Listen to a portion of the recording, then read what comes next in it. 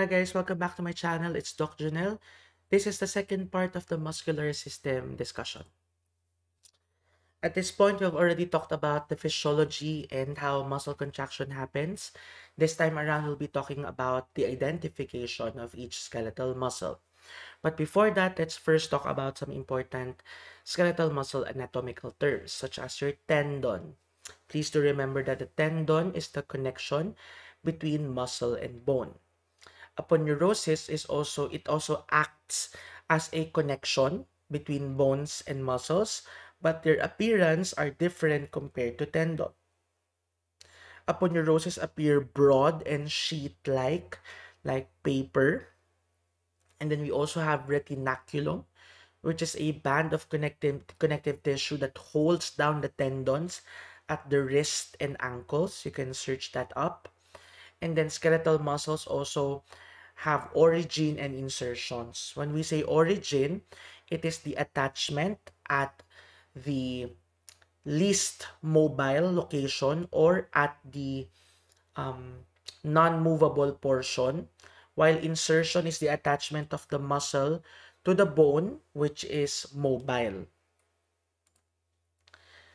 The part of the muscle between the origin and insertion is called the belly. And when muscles work together to perform an action, we call them agonists, while muscles which oppose the actions of each other are called antagonists.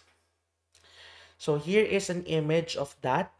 This whitish portion over here. This, those are your tendons which attaches the muscle to the bone. All right. And then the this is the origin because our shoulders are usually non-mobile while your forearm and your arm are very very mobile. So those are your insertions no? And then the part in the middle is what we call the belly. Now the biceps and the triceps usually are agonists because when one contracts the other should relax. And when the triceps contract the biceps naman should relax Muscles are named depending on their location, their size, their shape, and orientation of the muscles. So by knowing the definition of the names of the muscles, it would give you already a big clue as to its function, where you will find it, what is the appearance of the muscle. Um, it can also be named according to their origin and insertion according to the number of heads that the muscle has and according to their function. So here are the muscles on the anterior aspect, the muscles on the posterior aspect. So tips for muscle identification. Observe the shape, location, and action of each muscle. For knowing the origin and insertion is not yet important now, but once you go into medicine, you will have to memorize everything. Seeley is still our reference and you should be able to at least read the reviewer I gave and even this video several times for you to get familiar with the muscles. Let us start with the muscles of the head and neck. First, we have here highlighted in green your occipito frontalis.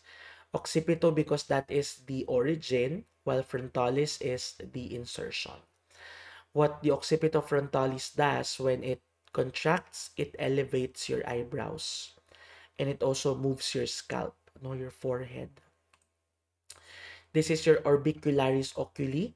This is a circular muscle. It's the meaning of orbicularis, circular. And it encircles our eyes and its job is to close our eyes.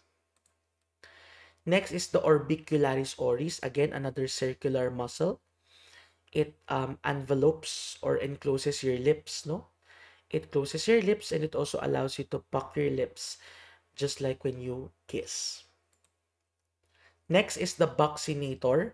This is the muscle important for uh, forming the lateral walls of the, the cheeks, la, rather, of your mouth or the oral cavity. The, uh, aside from keeping food inside the mouth, their other job is to retract the angle of the mouth meaning it can pull our lips towards the sides as in smiling and it can blow up such as in this image or suck up the cheeks like in this image Next, we have the zygomaticus major and minor. The first one here, the bigger one, is your zygomaticus major. The one in the middle is your zygomaticus minor. So the job of your zygomaticus, they are attached to the angle of your orbicularis oris if you men, if you notice, no? Doon sila naka-attach. So once it contracts, it will pull the angle of the mouth sidewards and it allows us to smile, just like this image of Tom Holland. We also have the levator labii superioris. So if you notice this image is quite different from this because your levator labii superioris is a deep muscle. So from the name itself, levator, it elevates what? The lips or the labi. Where? Upwards. So it elevates the upper lip and it is a deep facial muscle and it can do this. We also have the depressor anguli oris from the name itself, depresses the angle of the mouth. Okay? So it's this is where you will find them and it causes us to frown. And it's the opposite of your levator labii superioris. We also have the temporalis here, no? So its job is to elevate the mandible. What is the mandible? That's the lower jaw. The upper jaw is maxilla, the lower jaw is mandible. So it elevates the mandible or it closes the jaw. So when it contracts upwards, it will pull the lower jaw back to the closed position. We also have the masseter, which is an important chewing muscle. It can elevate and protract the mandible. Protract means to move forward, such as in this image. And when we say elevate, it also means to close the jaw. So that's what it can do. We also have the pterygoid. I think this is the only muscle that opens the jaw. Okay, it's a deep muscle as well.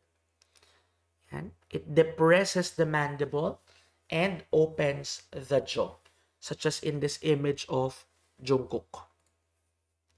Now we have three muscles for mastication, the temporalis and the masseter which closes your mouth, and then the pterygoids which open the jaw. Next, we have the sternocleidomastoid. This muscle is named according to its origin and insertion. The origin is the sternum, diba? And then it is it inserts into the mastoid process of the skull and also it has an or it has also has an attachment at the clavicle yun yung cleido clavicle so sternum clavicle and the mastoid process so it allows us to rotate and flex the neck such as when you're looking down yeah. next are the muscles of the trunk starting with the rectus abdominis So this us this is a very long muscle right in the middle of the abdomen and it allows us to flex our vertebral column, you know, to flex and to compress our abdomen in order for you to see your six-pack abs. Next, we have the external abdominal oblique. So, external meaning location, siya yung pinakalabas. Oblique is the orientation of the muscles. If you notice, the external abdominal oblique, um, yung direction niya is towards the middle and downwards, as in a letter V. Towards the middle and downwards. The white part here is your aponeurosis. The job is to compress the abdomen. Deep inside the external abdominal oblique is your internal abdominal oblique with the same function to compress the abdomen. But the orientation is what's different. Ito naman towards the middle pero upwards as in letter A. Okay? And then underneath the internal abdominal oblique, you would find your transversus abdominis which is a horizontal muscle. Kaya nga transverse, di ba? Up on the chest, we have the pectoralis major. So you can see, ito yung malaki kay, uh, paano nito?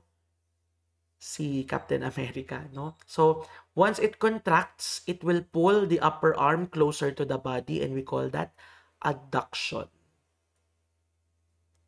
And it is attached to the deltoid tuberosity of the humerus.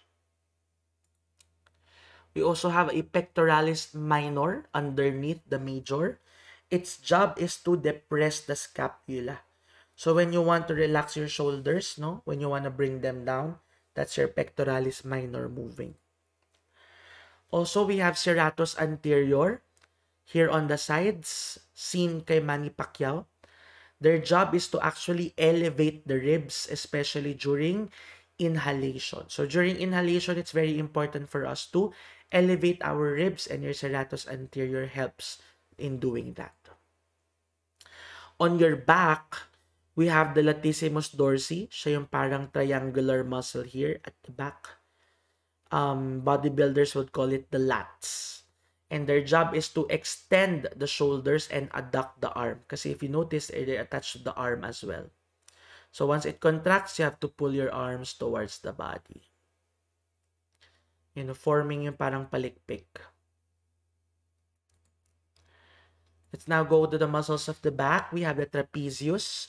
This is the one that forms your broad shoulders. No? Trapezius because it appears diamond in shape.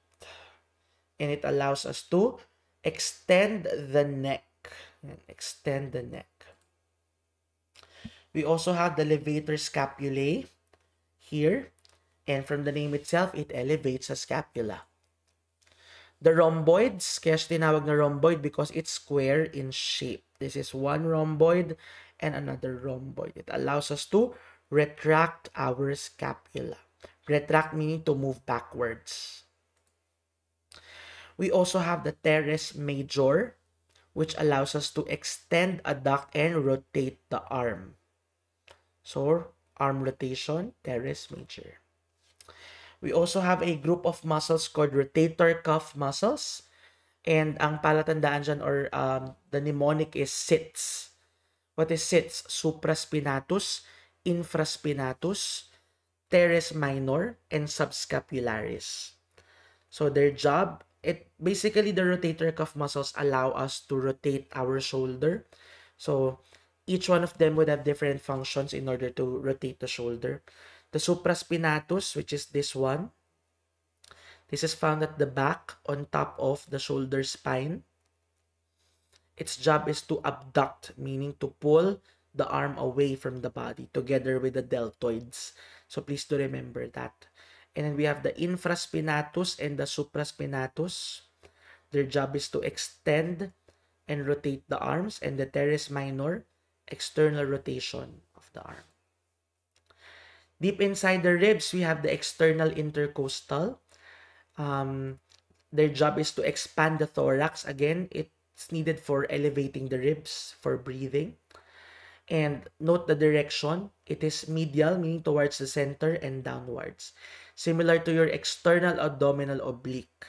Diba? Downwards and towards the middle, as in a letter V. Underneath the external intercostals is your internal intercostals.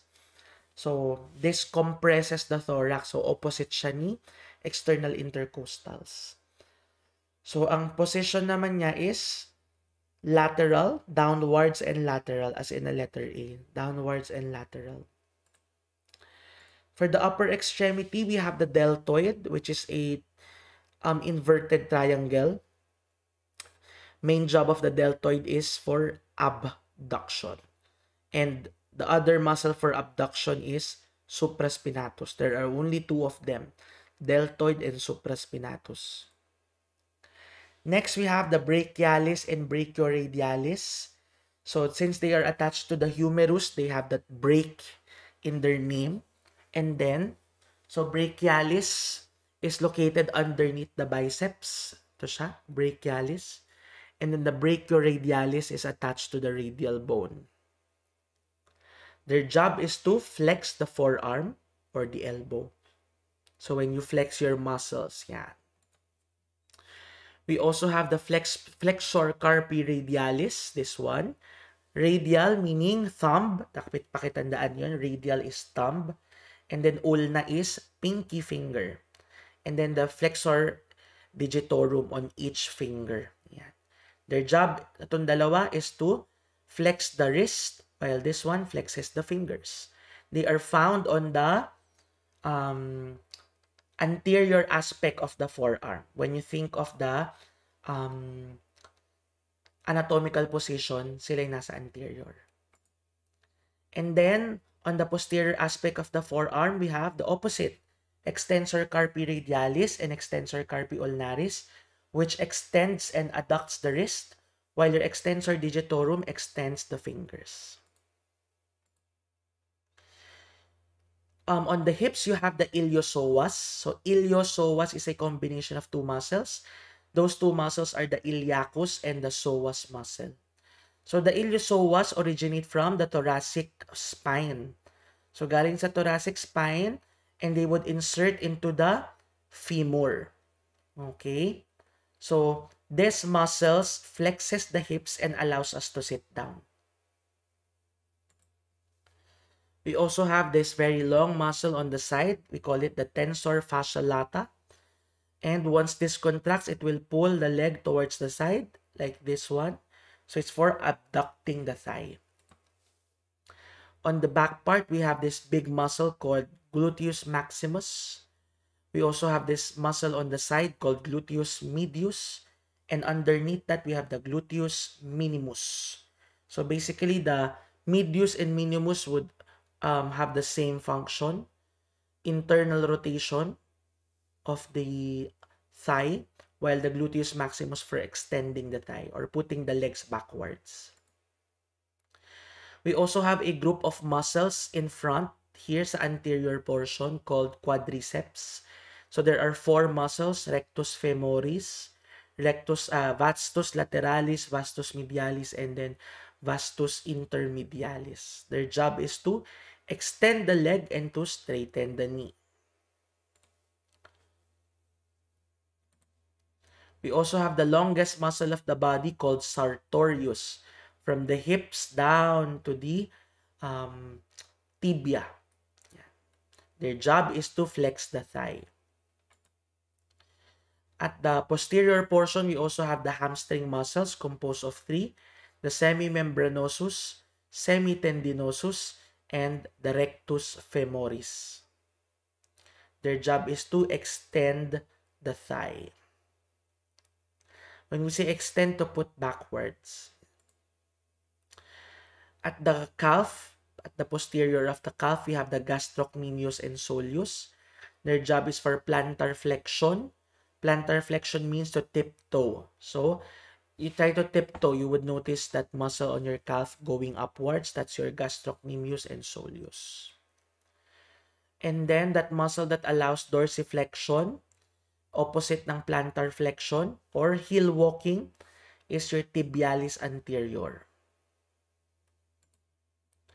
We also have those muscles which allows us to extend our toes called extensor digitorum longus.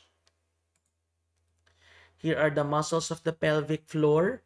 First is the levator ani, which elevates the anus and is composed of three muscles, the puborectalis, pubococcygeus, and iliococcygeus. We also have the ischiocavernosus, which forms the base of the penis and clitoris, and the bulbus spongiosus, which erects the clitoris and penis. Lastly, we have the external anal sphincter. That's it, guys.